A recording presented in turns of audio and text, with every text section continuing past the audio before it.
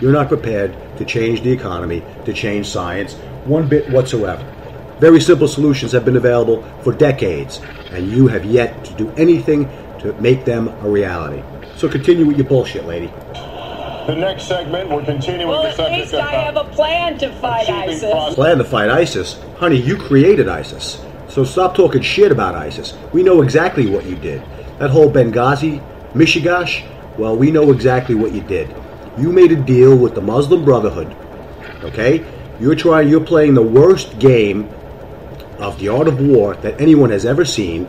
You created ISIS to work as the Muslim Brotherhood's army so they could cut a swath across the Middle East so they could take over everything in the Middle East, but the Egyptians foiled your plans, and Assad is foiling your plans by going against the Muslim Brotherhood and you and the weapons that you gave them because you got to figure out where are they getting these Toyotas.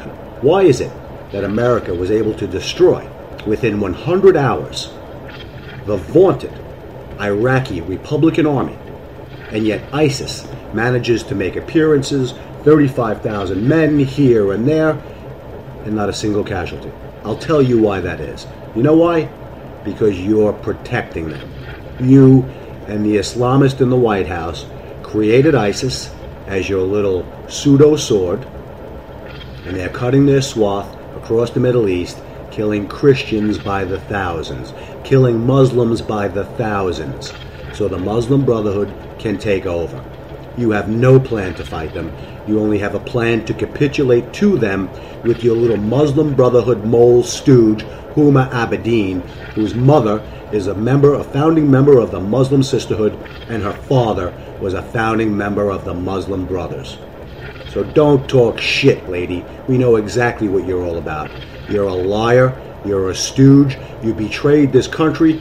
You have violated 10 USC 904, aiding the enemy, along with multiple members of both Republican and Democrat parties, to betray this nation by arming our enemies, who have unleashed a war on the Middle East, Europe, and the United States. So stop talking shit. And I want to talk about uh, taxes. Uh, the fundamental difference between the two of you concerns the wealthy. Secretary Clinton, you're calling for a tax increase in the wealthiest Americans. I'd like you to further defend that. I'm going to make it very simple for you, Lester. When was the last time you got hired to do a job by a poor person? Huh? Who's paying your million dollar salary there, Les? Is it the brothers down on 125th Street? Or is it the big mockers down in Midtown? Who's paying those bills? Who's making the suits that Hillary Clinton is wearing right now? That's a $3,000 suit. You think that was made by a couple of guys on Fordham Road? Little sweatshop off the corner? Of course it wasn't. It was made by the big boys with the big dollars in the big factories. When you tax the rich, what you do is you're taking away their play money. You're taking away their investment money. You're taking away the money that they put into the economy that is used by contractors who will mow their lawns, do their gardens, watch their children, train their muscles, move their cars, build their boats, maintain their summer homes, and all of these things. A single wealthy family will support multiple non wealthy families, allowing those non wealthy families to work up the ladder through the services they provide, through the products that they offer to those wealthy individuals who have the money, a means to make this economy better. Giving money to poor people who will turn around and spend it and throw it into the economy where the government makes taxes off of it is not doing anything. The services provided to the wealthy by the not so wealthy are what drive the economy of this nation. It's very simple. You got women like Hillary Clinton who put into effect restrictions on our ability to move our own money. Do you realize, as an American citizen, that you cannot withdraw, if you even have $10,000 in your bank account, you cannot withdraw that $10,000 without having to sign over to the feds an affidavit that it's not going to be used for drugs or some sort of criminal enterprise? This is what the feds think of you that you are nothing but a criminal, and that by possessing your own money, you are somehow engaged in a criminal act. Let's talk about profiling, people. That's profiling if I ever saw it. That's profiling an entire nation. You have $10,000 and the government feels that it's their business to know what you're doing with it. That's Hillary Clinton's fault. Okay? We've looked at your tax proposals. I don't see changes in the corporate tax rates or the kinds of proposals you're referring to that would cause the repatriation, bringing back of money that's stranded overseas. You don't know how we're going to repatriate the money. Well, it's very simple. When they have to pay a tariff to bring their product back into the country of their own origin, they're not going to like that. See? Just like the small guy doesn't like being taxed to death, just like you don't like being asked questions where truthful answers are required, well, businesses don't like being double tapped for their own money. So, if it's more profitable for them to run their businesses in the United States, guess what, Secretary Clinton? They're going to work to their own advantage and they're going to relocate their businesses back in the United States instead of Guatemala, instead of Indonesia, instead of South America and Taiwan. It's very basic math. There were no toys made in the United States. One, because of your EPA, destroying everything taxes, everything else, unions, everything else. Erase them, manufacturing comes back in this country. And you know what? And if you're not making enough money as a manufacturer or as a worker in one of those things, then maybe your education, again, if you can perform at a high school level, at your grade level, you should be able to attain any public service job. Just like you, Hillary. Again, we know that you failed your bar exam, so it's not like you're that smart. You're just a very efficient liar and you slept your way to the top. But we'll forget about that. We'll let, let you lie a little more. Trickle down did not work. It got us into the mess we were in in 2008 and 9. Trickle down didn't work. If trickle down didn't work, you know, Ronald Reagan was the creator of the trickle down economy. Why was America engaged in the largest and most profitable increase in business and manufacturing from 1981 through the 90s that your clown husband benefit from was able to claim the benefits from that, that economy as his own. You think the tech bubble came out of nowhere? No, it didn't. It came out of the efforts of the 1980s. It came out of the 1980s economy. Your economy, the Clinton economy, ended in recession. Recession. Recession. Never forget that, Secretary Clinton.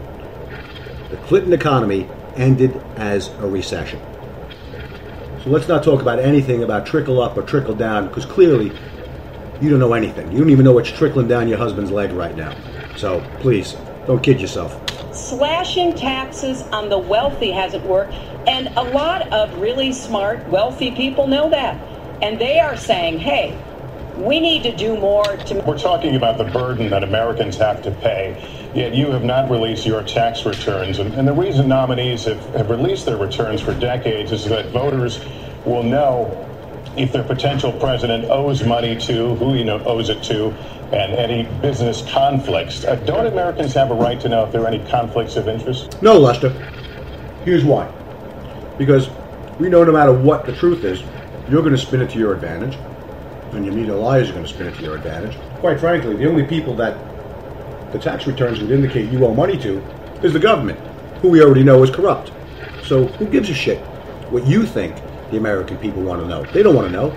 You want to know. You want to know because you want to nitpick. At the same time, you don't investigate the Clinton Foundation. Why is that? You don't investigate Clinton's uh, education scam and all the millions that Billy and Hilly have racked in from the little Clinton education scandal, right? So don't worry about taxes. Taxes is bullshit. If your if your main claim to be president of the United States is your business, then I think we should talk about that. You know, your campaign manager said that you built a lot of businesses on the backs of little guys. And indeed, I have met a lot of the people who were stiffed by you and your businesses. Donald. Name them. I've Name them dishwashers, painters, architects, glass installers, marble installers, drapery installers, like my dad was. Well, come on. Name one of them by name, not by profession, and explain where exactly you met them and how long you had conversation with them because we know that you don't really talk to the little people. How did they get through your Secret Service uh, cordon to speak to you about Donald Trump? Explain this to me. Anyone? Can you? Anyone, please. Did these people have the $25,000 required to take a photograph with you? Did they have the $100,000 per plate have dinner with you? Where and when did you engage with these service providers, Secretary Clinton, you bullshit artist fuck? Thousands of people that you have stiffed over the course of your business not deserve some kind of apology? Do the thousands of people who you have killed during your tenure of Secretary of State in the Middle East and Europe and Asia, do they deserve an apology? Do the four Navy SEALs and the American ambassador that was killed at Benghazi, do they deserve an apology? Or do they get your bullshit story that it was created by a YouTube video that nobody saw? Right?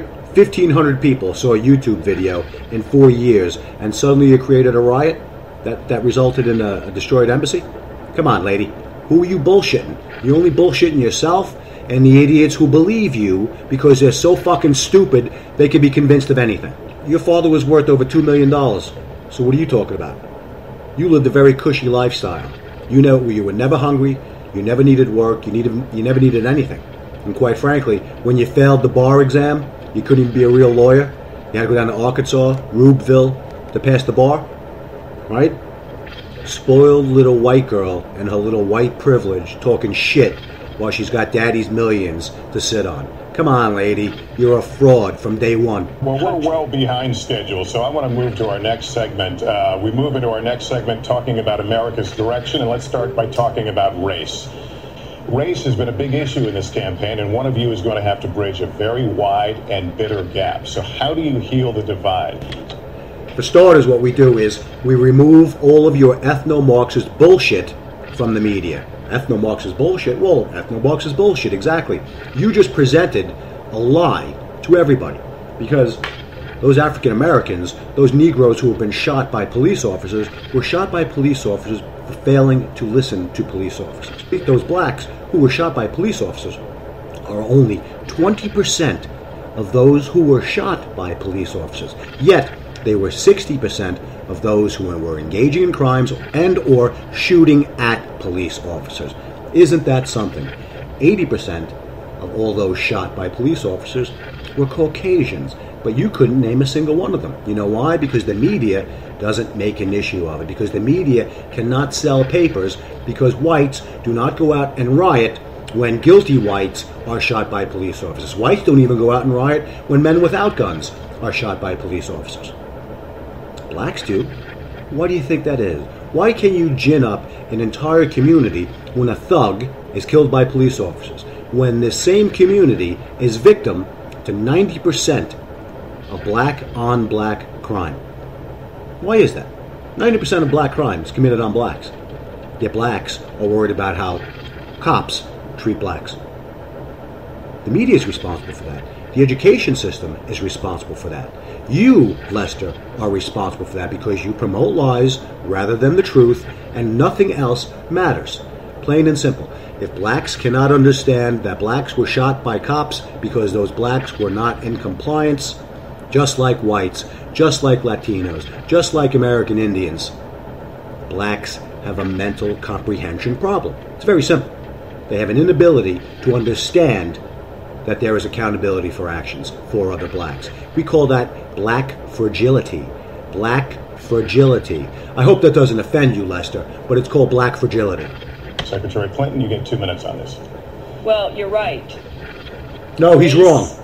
Remains a significant challenge in our country. That's right, because people like you, Hillary, just like your co fed, Eric Holder, is a coward and refuses to address the race issue honestly, as per the Department of Justice statistics and the FBI statistics, and the different regional police department statistics.